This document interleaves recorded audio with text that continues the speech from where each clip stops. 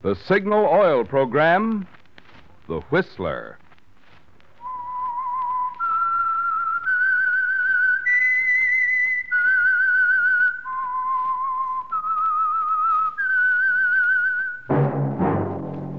That whistle is your signal for the Signal Oil Program, The Whistler.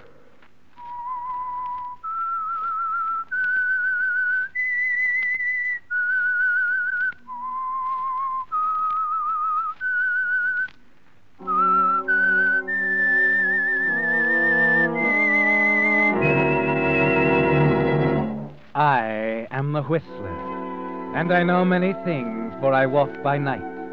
I know many strange tales hidden in the hearts of men and women who have stepped into the shadows. Yes, I know the nameless terrors of which they dare not speak.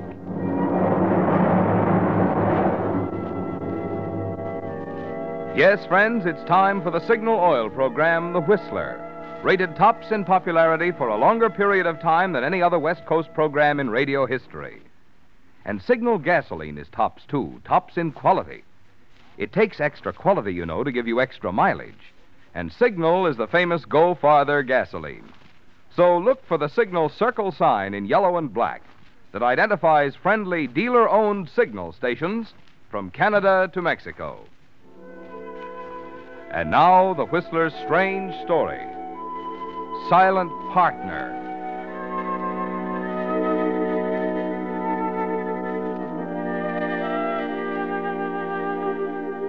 For 20 out of every 24 hours, Saunders Junction is a sleepy little western town, the railhead of a dairy cattle empire called the Robertson Ranch. But twice a day, at 6 o'clock in the morning and evening, it comes to life, its three blocks of stores and supply houses suddenly active as the trains pull into the station and Robertson trucks line the platform. The drivers and swampers hustling hundreds of gleaming cans of Robertson milk into the waiting cars to be taken south to the cities. In the wintertime, a stranger in Saunders Junction would have trouble distinguishing morning from evening. The same trains, the same shouting men, the same darkness morning and evening. But Matt Robertson was no stranger. As he stood on the platform watching the train pull out, he was thinking, a little bitterly now, of the day 30 years ago when his father passed the Robertson Ranch over to him. And as he looked down the line of trucks with Robertson painted on their sides, he couldn't help reflecting on the changes those 30 years had brought. Okay, boys, let's roll. Barry? Uh, oh, Barry. Yeah. Just a minute. Did you check that shipment on, Barry? Well, sure. What's the matter, Matt? Let's look at the sheets. I didn't see them. Oh, well, I didn't think you wanted. I got a right to know how much milk I'm shipping off my own ranch, haven't I, Barry? Come on, give me the sheets. Why, sure, Matt. It's, uh, well, it's just that Wilkes. said- Never mind, Wilk. Well, okay, Matt. Hmm. More than 3,000 gallons, eh? 10% over last month. Yeah, Wilkes is doing a great job. You think so, Barry? Yeah, sure do. And 3,000 ain't nothing to what we're going to do when Santa Susana gets going. I haven't decided yet whether we're going to buy Santa Susana Ranch. Oh, it's all bought yesterday. Where did you hear that? Oh, Wilkes Haynes himself. Yeah, we're going to double milk production, he says. He went ahead and bought it? Why, I, I thought you knew. Will went ahead. Went right ahead and bought it. Oh, funny, he didn't say nothing to you. You're his partner and everything. Oh, I can't figure Just why. forget it, Barry. I'll take it up with him directly. Well, sure, Matt, sure. I uh, I better get back. I got to get these sheets to the boss. The boss, huh? Look, Barry, before you get in that truck, take a look at the name on the side of it. Huh? It says Robertson Ranch. You see it? Big, clear, bright yellow letters. Robertson Ranch. Robertson Ranch. Oh, Matt. Huh? I, oh, hello, Sheriff. Thought I might ride back to the ranch with you, Matt, if it ain't too much trouble. Oh? Anything wrong, Sheriff? Hmm, Want to see young Charlie Breck. Charlie. Well, what's the matter? What's he been? Oh, now don't get worked up, Matt. It's nothing serious. You know he's been on probation after that shooting scrape up north. He just ain't reported to me this month like he's supposed to, that's all. Oh, I see. Can't say I blame him for putting that fellow in the hospital, but the book says he checks with me once a month. And that's what he better do. Well, look, Sheriff, uh, I'll send him in tomorrow. Tomorrow he'll be working stock all day if I know his boss. Wilk Haynes will have every hand on the place, moving cattle over at the Santa Susana place he just bought. Oh. You heard about that, too, huh? Sure. Yesterday. It was all over town. Uh, what's the matter, Matt? Something wrong? You know, Sheriff, it's nice having a partner who takes care of everything. Yeah.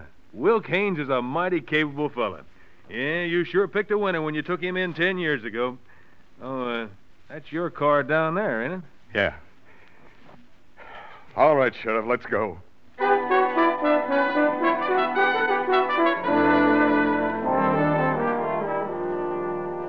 It's ten miles from town to the main ranch house. You know every bump, every rabbit on the winding dirt road, Matt.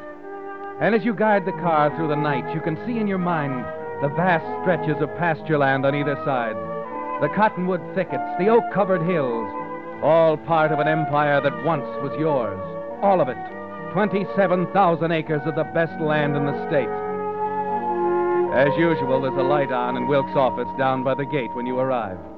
For an hour after train time, morning or night, Wilk Haynes always works alone over his reports. Wait a minute. And then as you reach What's the going door, on the sheriff grabs your arm. Sounds like Charlie. Maybe we better wait. Oh, please, Wilk, listen to You him. listen to me. I don't give a hang what you think or Dorothy thinks either, for that matter. You gotta think of her, Wilk. She's not a kid anymore. She's a grown woman with a mind of her own. It's her business. if Well, she I'm wants- making it my business. Get that? Dorothy is my daughter, and if you think I'm going to allow her to run around with a jailbird, Hey, wait a minute, Wilk. I think we Well, better just go about all in, that Matt. kind of talk I want to hear. Oh, Nobody. excuse us, gents. Didn't mean to butt in. get him out of here, Sheriff. He threatened me. I know, Wilk. Couldn't help hearing it outside the door. What's the matter, Charlie? Just a little private argument, that's all. I'll tell you, Sheriff. He's been seeing my daughter, Dorothy, and I don't intend to let it go on. I think we can settle that without the sheriff, Wilk. Whether you know it or not, Sonny, it's settled already. Um, come on, Charlie. I'd like to talk to you for a minute. Uh, excuse us, uh, will you, boys? I'll, uh, see you later about that, Wilk. Well, what do you want? Oh, I'm just another hired hand, Wilk, trying to find out what's going on around here. I suppose you're a little curious about Santa Susana. You're a wonder, Wilk. By George, a seven day wonder. You can skip the sarcasm, Matt. I've thought a lot about this, you and me. I finally worked out a way of operating that fits. It doesn't include you. Well, I got Santa Susana at a good price. I'm going to make money with it. There was no reason to dilly dally any further. That's all. I see. You know what's funny? I thought we had a partnership. You can look at that any way you want. I'm running the ranch the way I want to run it. The uh, Robertson Ranch. I'll change that too one of these Well, days. you low down, double crossing skunk. If I'd have known you were going to. Wait a minute, Matt. I'm glad you mentioned that point. You seem to have forgotten now that when you took me in, the whole spread was two jumps from receivership. If it hadn't been for me, there'd be nothing left. 14,000 acres. There were only 1,500 head. Poorest kind of stock the Lord ever made. We've come a long way since then, Matt, and we're going a long ways further. If you want to come along, that's fine. If you want to sell out, that's better yet. Uh, you can think it over on your way to Santa Susana tonight. Santa Susana. We're moving all our dry stock over there tomorrow to put on that rich pasture. They'll need you. Is that all, boss? Yeah, that's all.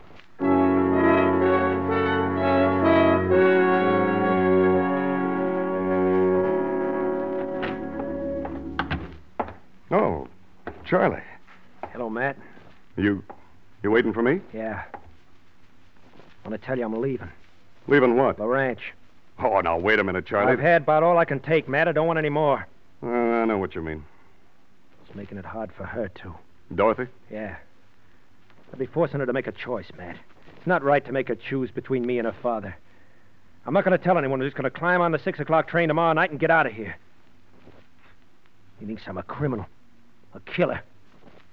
Well, maybe they're right. If I, if I had a gun a few minutes ago, I'd, I could kill him, Matt.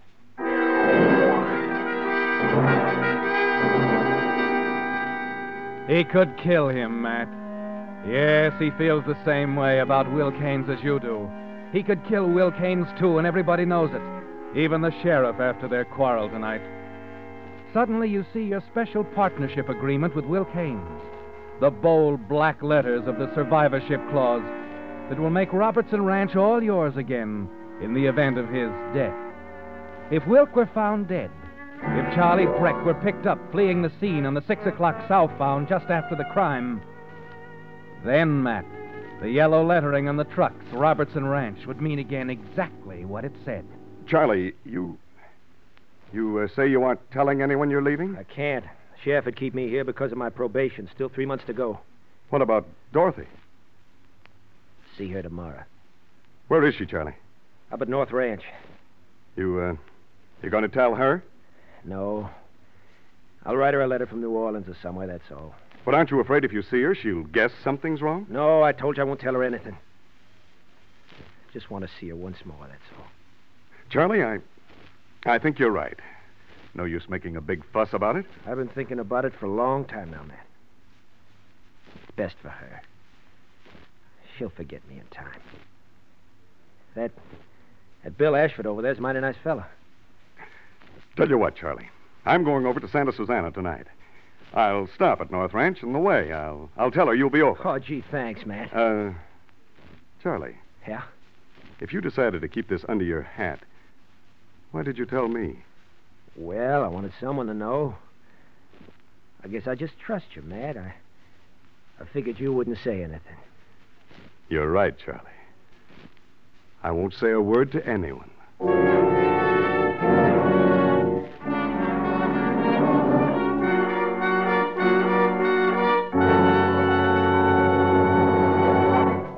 With the prologue of Silent Partner, the Signal Oil Company is bringing you another strange story by The Whistler.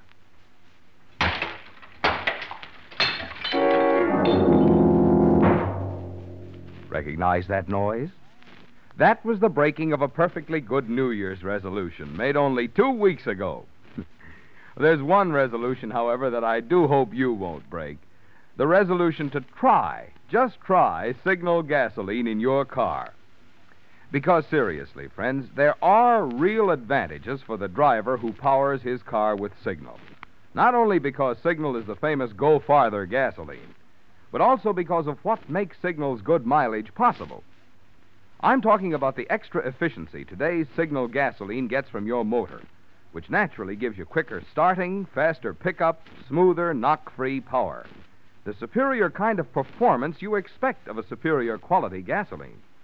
Yes, it's a fact.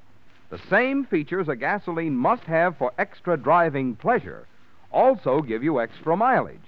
The thing Signal gasoline is famous for. That's why we say to be sure of the tops in gasoline quality, there are just two things to remember. One, in gasoline, it takes extra quality to go farther. And two, Signal is the famous Go Farther gasoline. And now back to the Whistler.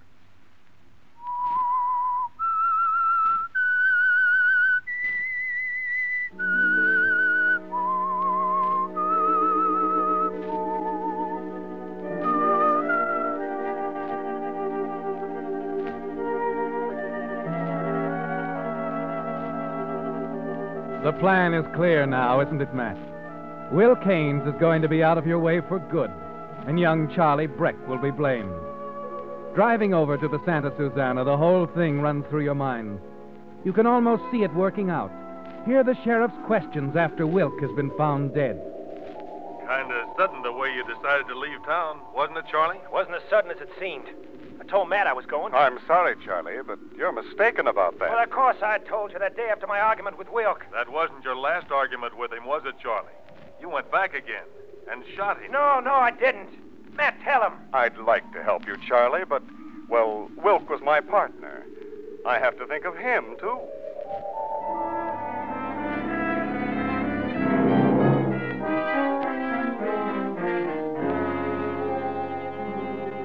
Yes, Matt, it'll be that simple. You're confident as you pull up in front of North Ranch House and go inside to talk to Dorothy. Matt, hello. What brings you over here this time of night? Well, for one thing, I promised Charlie I'd deliver a message to you, Dorothy. Oh, how is he? Oh, he's all right. A kind of a hot-headed young fellow, but you know, if people would just make an effort to understand Charlie. You're talking about Dad, aren't you? Well, I. Please, Matt. He and Charlie have quarreled again, haven't they? Dorothy, you know I don't like to go mixing into things. Tell that- me, Matt. Well, yes, they did. It was sort of a showdown, I guess. Each calling the other names and all. They stopped when Sheriff Walker and I came in on him. I see. Matt, do you mind if I ride back with you? Oh, I. I wouldn't do that. But I want to see Charlie. I want to talk to But him. But he's going to meet you uh, tomorrow, Dorothy. That's what he wanted me to tell you. He's coming over here? No, uh, not here. He wants to meet you in town, uh, about one o'clock. In town. But he usually comes here. Well, I- I, I guess he figured it'd be best that way. Because of Dad? I suppose. Well, I'll have to get someone to drive me in. Maybe Bill Ashford will do it. Oh, good. I'll tell Charlie when I get back. Thanks, Matt. I. I wish Dad could be as understanding as you are.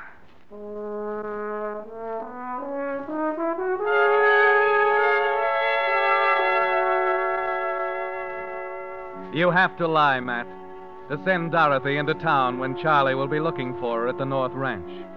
Above all, you can't take the chance of having them meet. Of course, you know there'll be questions later on when Sheriff Walker is investigating. But you can always say you lied to prevent more trouble. That's a good excuse, Matt. And all through the night, as you're giving orders to the hands, you're thinking it through. But in the morning, when you meet Charlie back at your place, you find there's something else to think about. Matt, I, I know you'll think I'm screwy changing my mind, but I've got to tell Dorothy about leaving. It don't seem right to just run off. That won't make it any easier on her, Charlie. I know, but well, I didn't sleep last night thinking about it. I feel that I should tell her. Uh, I think your first hunch was best. I didn't ask what you think. I'm telling her, and it's none of your business. Oh, I'm sorry, Matt. Forget it. I, I'm all mixed up. Sure, kid. I understand. But you should know. I'm gonna have one of the boys tell her to meet me in town just before train time tonight. Uh, why don't you ride over and tell her yourself, Charlie? As long as she's expecting you. No, they got everybody over at Santa Susana moving stock. I'm holding down the fort here alone. Does it matter if you're quitting? Uh, you know Wilk. If my work isn't done, he'll start wondering about it and maybe get suspicious. Oh, sure, the sheriff. Yeah. Not that Wilk wouldn't be glad to see me leave. The sheriff won't. I want things to look usual right up till the time I climb onto that six o'clock train. Hmm. Seems a shame you'll just get to see Dorothy for a minute. Hey, look. Maybe I can help out. You don't mean you'll work for me? Why not? Well, after being up all night handling your own shift, why, that's no good. You're worn out already. Oh, well, I'm not so tired I can't do a friend a favor, Charlie. Yeah, but Now, man. Go on. Get over to North Ranch and talk to her. Oh, gee, I sure appreciate this, man. Forget it, forget it. Oh, uh, I wouldn't take the station wagon. Foreman might check on you. Oh, I won't. I'll just saddle up. I can be there this afternoon. Swell. I'll leave right away if you want it, Charlie. And don't worry. I'll be taking care of things for you here.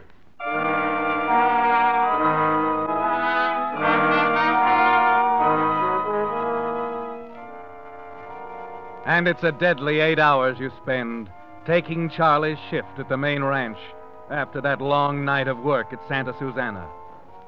By two in the afternoon, there's a weary throb at the base of your brain, an ache in your back, a gritty heaviness in your eyelids.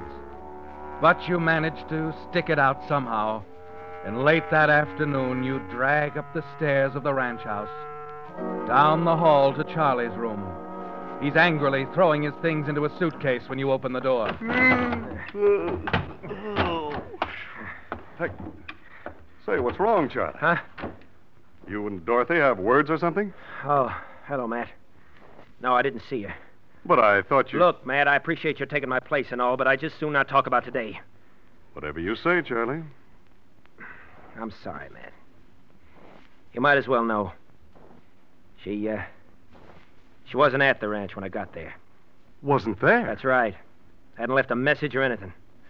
When I got inquiring around, one of the boys said he saw her drive off for town with Bill Ashford. What?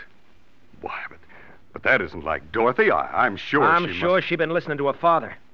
Probably swung over to seeing things his way. Anyway, it don't make no difference. I'm leaving. On the six o'clock, just like I said. Well, good luck to you, Charlie. Thanks, Matt. You've been swell. It's one thing I won't forget about Saunders Junction. Listen, if, uh, if I can ever do anything for you. Yeah, yeah, I know, I know. Well, uh, I'm going up to my room and stretch out for a little while, Charlie. You know, I'm kind of tired after 48 hours. so long, kid. So long, Matt. And thanks for all you've done.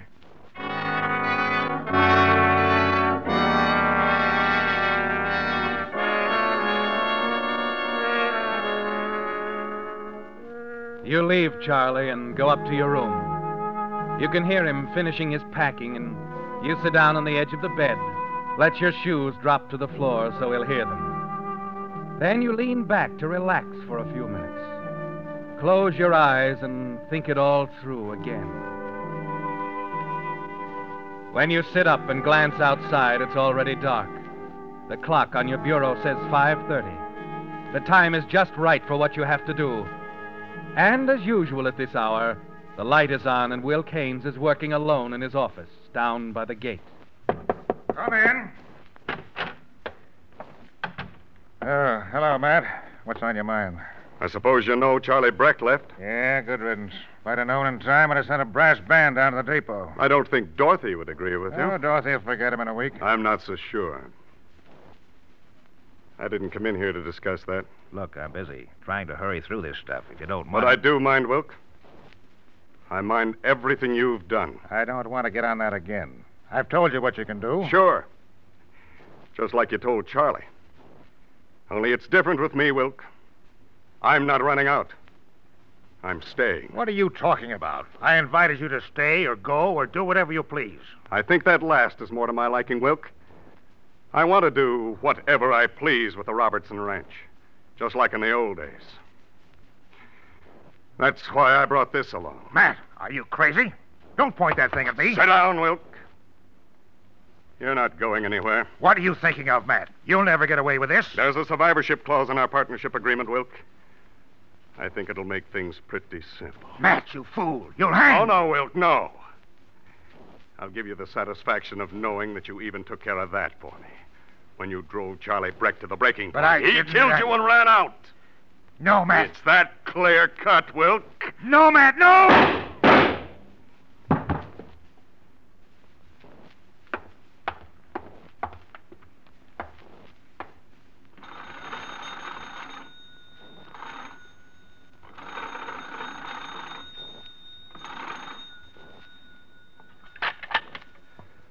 Hello? Uh, hello, uh, Sheriff Walker. Speaking. Uh, that you, Matt? Yes, yes, I, I'm calling from the ranch.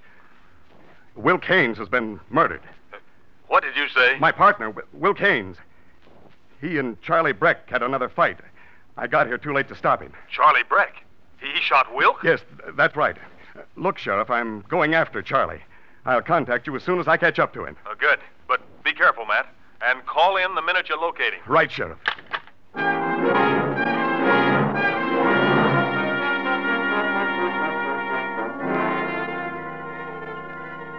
Twenty minutes later, you're in the station wagon, the headlights cutting through the darkness.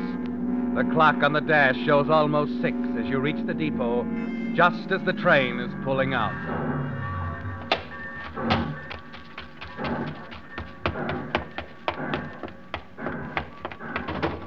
Ed!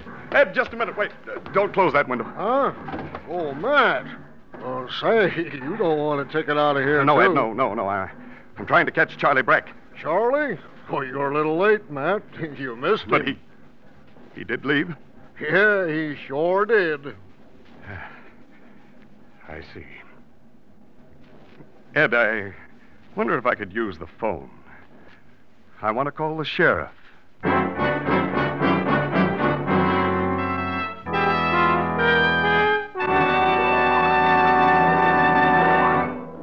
Whistler will return in just a moment with the strange ending to tonight's story. Meantime, for you drivers who are not already enjoying the convenience of a Signal credit card, I'd like to mention just a few of the ways in which this simplified, modern method of taking care of your driving needs can add to your driving pleasure.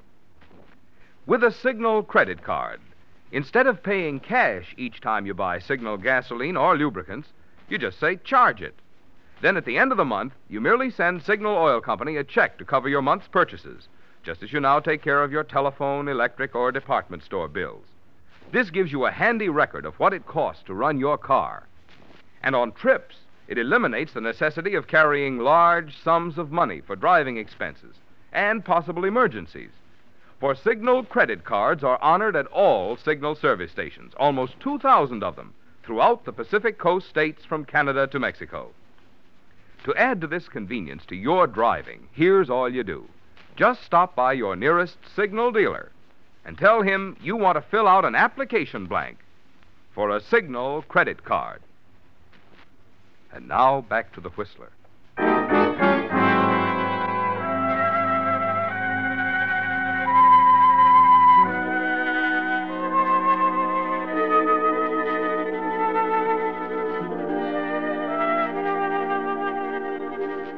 It was made to order, Matt.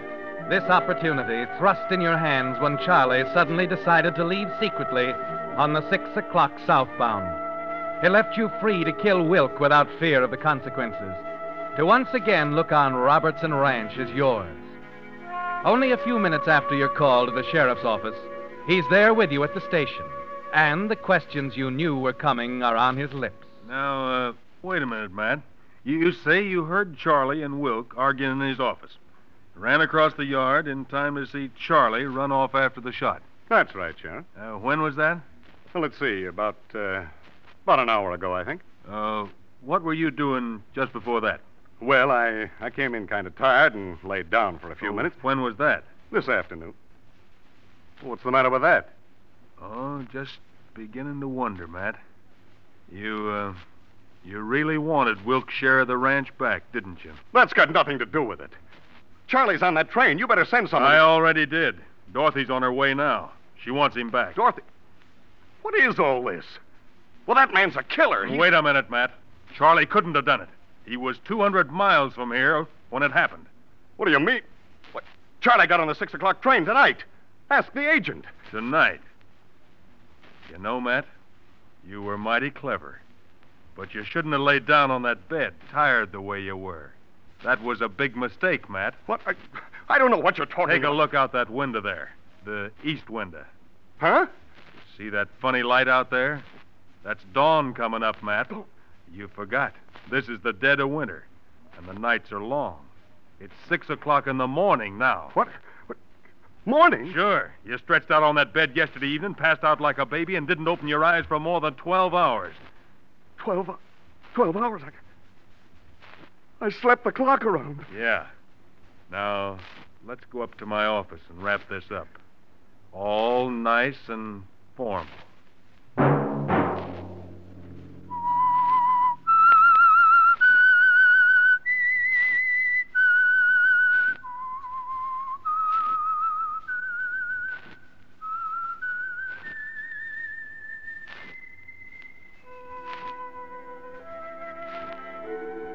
That whistle be your signal for the Signal Oil program, The Whistler. Each Wednesday night at this same time, brought to you by the Signal Oil Company, marketers of Signal gasoline and motor oil and fine quality automotive accessories. Signal has asked me to remind you to get the most driving pleasure, drive at sensible speeds, be courteous, and obey traffic regulations. It may save a life, possibly your own.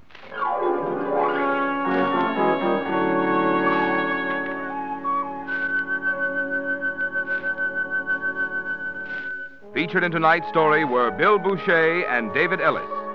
The Whistler was produced by George W. Allen, with story by Joel Malone and Harold Swanton, and music by Wilbur Hatch, and was transmitted to our troops overseas by the Armed Forces Radio Service. Next Wednesday, for a full hour of mystery over most of these stations, tune in a half hour earlier. Enjoy The Saint as well as The Whistler.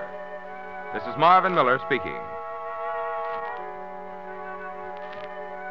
This is CBS, the Columbia Broadcasting System.